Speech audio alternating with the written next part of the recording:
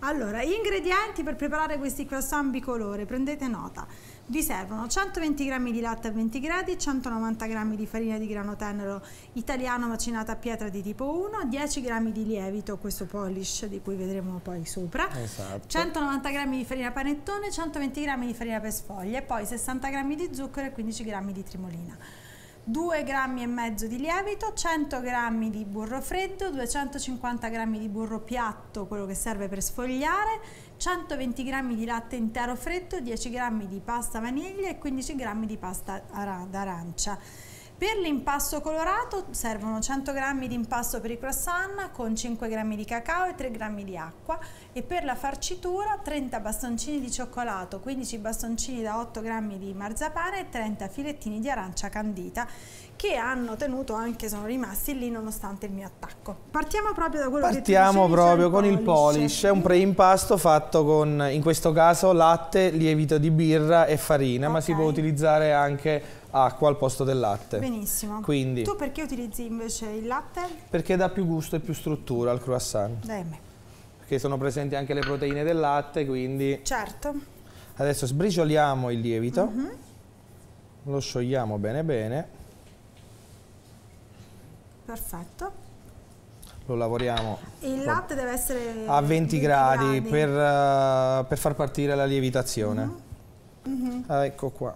Allora, quindi poi aggiungiamo la farina. La dobbiamo appena appena amalgamare Sì. E poi Si lascia maturare, si lascia, si lascia maturare coperto con pellicola per circa un'ora A tem- a 20 gradi, 20-25 gradi. Benissimo, diciamo una temperatura ambiente. Insomma, Esatto, esatto, esatto, assolutamente. Trascorsa un'ora, Questo è ciò che eccolo qua, avviene. questo è il risultato che otteniamo. Benissimo. Farina. 190 grammi di farina per sfoglia, Mhm. Macinata a pietra, Certo, ah, farina macinata a pietra, l'importanza di, tutto il, di avere tutto il grano, proprio tutto Esatto, il tipo di grano, no- tutto il gusto. Questa poi oltretutto è una farina altamente, come dire, sicura perché è una farina che viene controllata con un, eh, appunto una lettura ottica eh, di ultima generazione per cui passano e diventano farina soltanto i chicchi di grano eh, sano.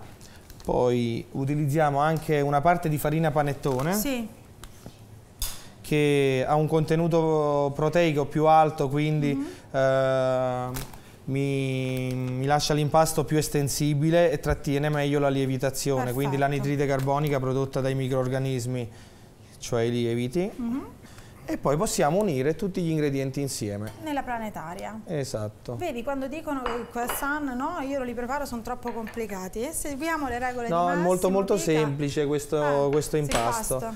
Zucchero, questo che cos'è? Questo è sale. sale. Lo mettiamo insieme in questo impasto francese, poi aggiungiamo pasta arancia e trimolina. Sì. Eh, trimolina è lo zucchero invertito, ma a casa può essere sostituito con il miele. Benissimo. Un piccolo eh, trucco per staccare il polish dalla parete, andiamo a versare il latte sui bordi. Mhm. Altro latte. Altro latte, sì. Dai me che metto a posto, io sono qua per Perfetto. questo. Versiamo tutto nel bicchierone qui del- nel contenitore del... Ecco. Mhm. Un po' di pasta vaniglia o un mezzo baccello di vaniglia. Sì. E infine del lievito ancora, come vedi, avendo preparato il polish Certo, prima, possiamo mettere un quantitativo davvero minimo esiguo. proprio. Benissimo. E procediamo a impastare il tutto. Vai. Fatto tutto, coordinato, sintonizzato. Esatto. Benissimo. E adesso E va. procediamo alla fase di impastamento. Però quello che noi otterremo sarà da questo impasto qua, sarà un panetto da eh, 940 grammi, di cui 840 grammi li usiamo per sfogliare, 100 grammi li abbiamo prelevati e li abbiamo colorati con il cacao e l'acqua. Cominciamo a stendere. Adesso Adesso, dobbiamo facciamo capire. stendere il panetto Allora. della lunghezza del pezzo di burro. Benissimo. E adesso andiamo, come si suol dire in pasticceria, a incassare il burro in questa Mhm. maniera qua. Deve combaciare l'impasto con il burro, non, deve, non dobbiamo far so- sovrapporre i due lembi, ma Ok. deve combaciare. E E, poi stendiamo. stendiamo piano pianino. Adesso l'abbiamo steso, sì. procediamo alla, alla, piega a 4. Abbiamo okay, realizzato 4, la prima piega a 4, 1, 2, 3, 4. Adesso Chiaro, stendiamo no? nuovamente. Benissimo, per fare la nostra piega a 3. Esatto, Mi solitamente tra una piega e l'altra c'è un periodo di riposo di circa 20 minuti in frigorifero. Sì. Arrivati a questo punto abbiamo 1, 2, 3 pieghe, eh. abbiamo il nostro di panetto di pasta sì. colorata, andiamo a schiacciarlo. Benissimo e poi andiamo a stenderlo, però in questo caso veramente c'è bisogno di un po' di riposo in frigorifero. Dopo mezz'ora noi lo stendiamo a circa 2 mm e mezzo come questo qui. Voilà. E partiamo con il taglio Esatto. Invece. Andiamo a fare dei triangoli. E andiamo a comporre Benissimo, il nostro croissant. Le alette le mandiamo verso l'esterno mm -hmm. e arrotoliamo in questa maniera.